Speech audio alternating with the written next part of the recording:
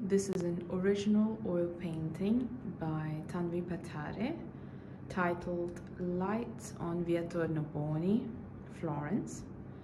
It measures 19.6 by 15.7 inches.